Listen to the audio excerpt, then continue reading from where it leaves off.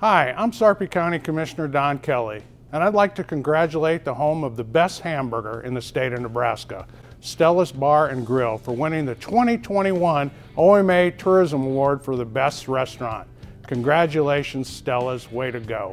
Hi, I'm Fred Uhe, Director of Tourism for Sarpy County, and we're here today with Stephanie and Pam Francois at the world famous Stella's Bar and Grill in Bellevue, winner of this year's best restaurant in Sarpy County. In accepting this award, um, the real true heroes for us, or the people that are behind us, our cooks and our servers. These individuals are like family members to us, and they're the reason why we've enjoyed the successes that we have.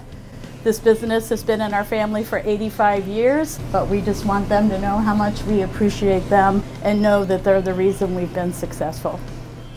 And thank you for this award. Very well.